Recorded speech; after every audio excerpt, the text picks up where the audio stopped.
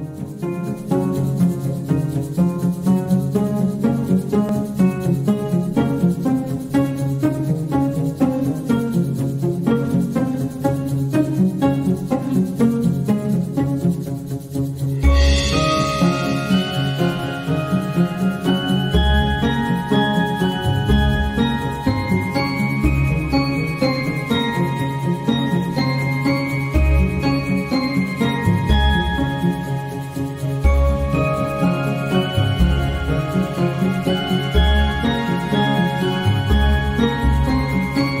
For more information, you can visit TulsaWorld.com.